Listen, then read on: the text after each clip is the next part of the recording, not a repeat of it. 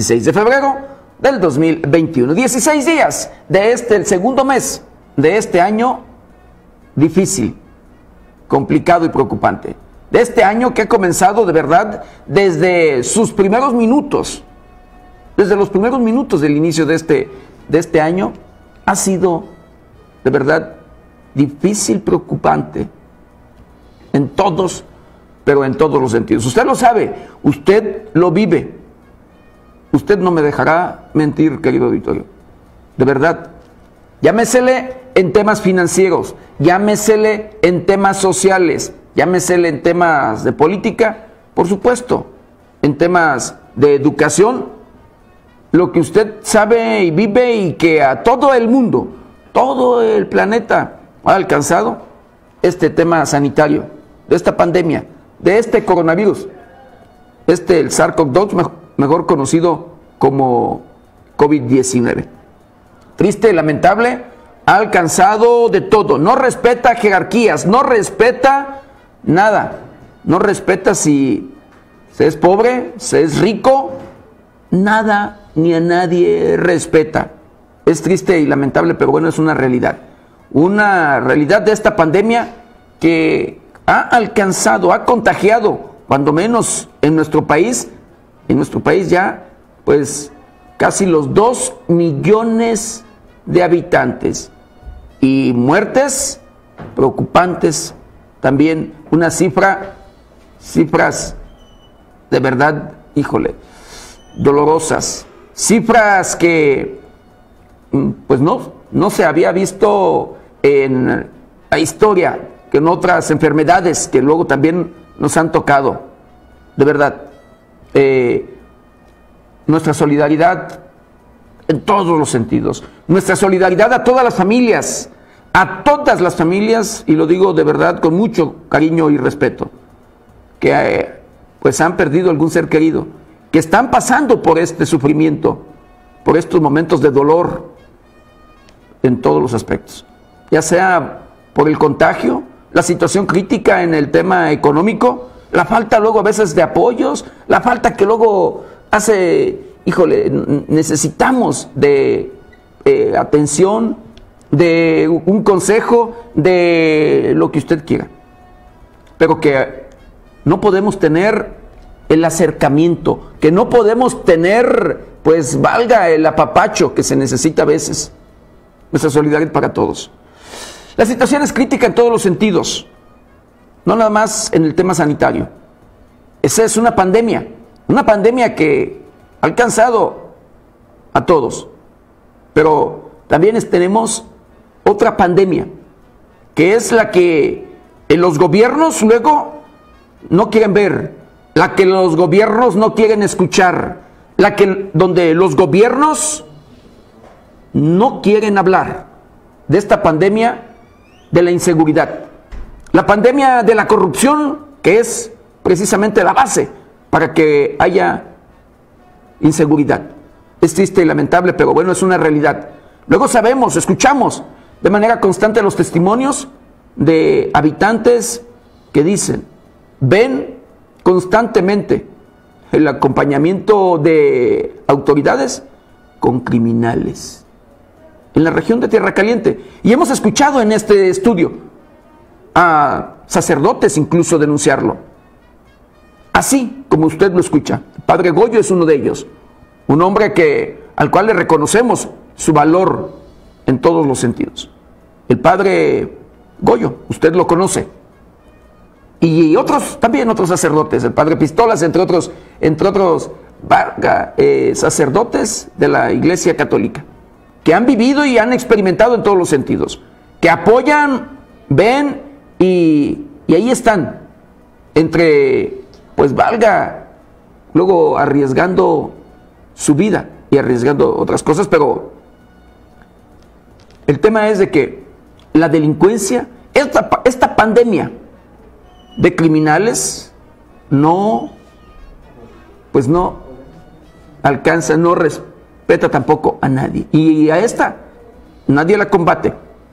Al contrario, lejos de combatirla, vemos, sabemos, conocemos y escuchamos historias de de que son, que autoridades luego son aliados de los criminales.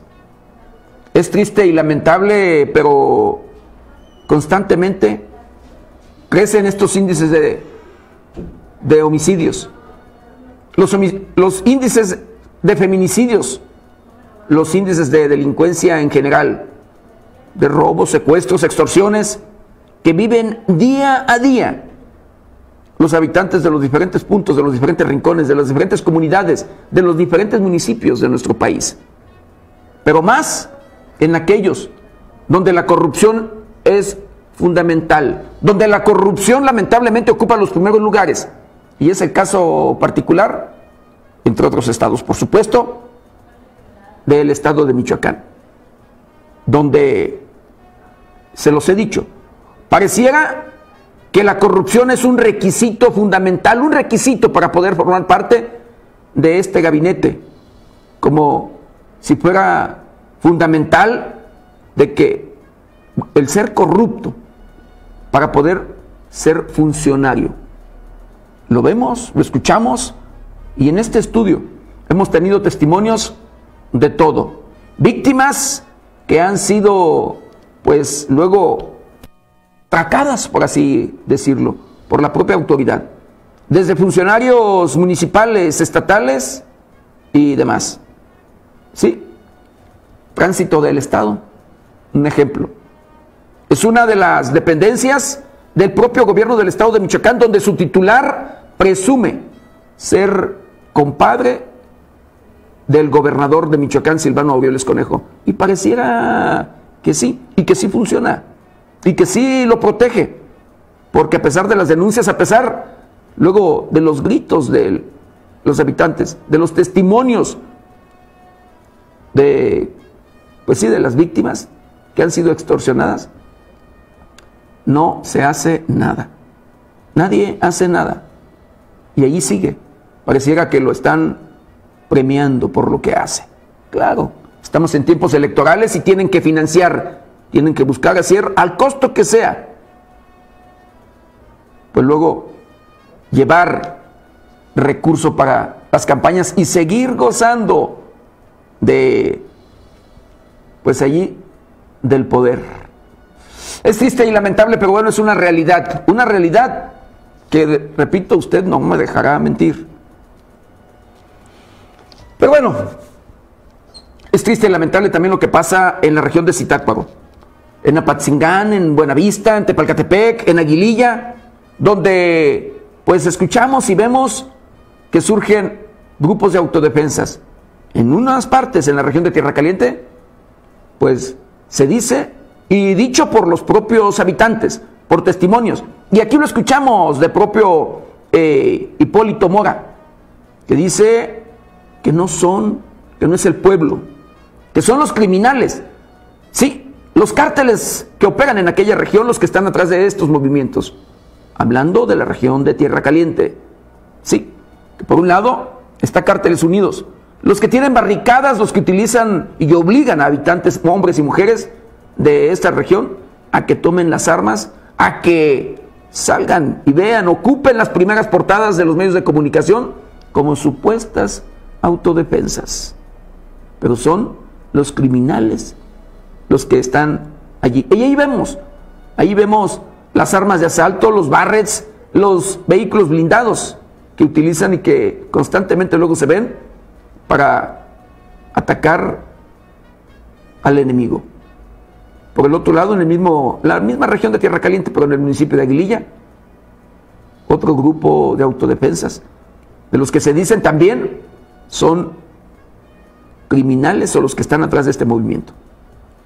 Y allí el cártel Jalisco Nueva Generación, donde surgió otro, otro movimiento donde los habitantes toman las armas y donde sí, allí son, eh, es un movimiento nato y es el pueblo, y lo digo con conocimiento de causa, es en Zitácuaro, donde los habitantes después del hartazgo, donde los grupos criminales comenzaron a querer extorsionarlos, a secuestrarlos, a privarlos de su libertad, de su vida incluso, Allí se levantaron en armas, porque el gobierno no los escucha, porque el gobierno incluso los ignora, porque incluso el propio titular del Ejecutivo, Silvano Vélez Conejo, el día de ayer manda un mensaje a los habitantes diciendo que son criminales.